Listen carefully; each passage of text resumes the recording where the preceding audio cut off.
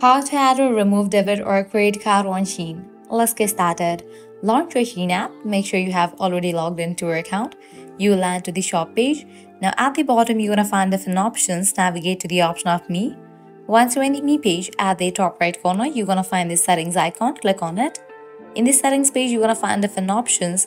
Head over to the option of My Payment Options. Click on that. If you have added debit or credit card, it's gonna pop up over here. In order to remove it, click on it.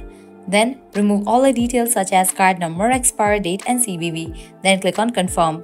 With that, the card detail will be removed from your Shein account.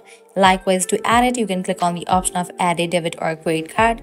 Now type in the details, card number, expiry date,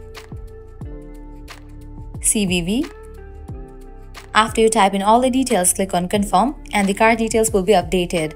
So this way you can easily add or remove debit or credit card on Shein account. This was really simple and quick process. At the end, if you guys find this video helpful, don't forget to like, share and subscribe to our channel. Thanks for watching.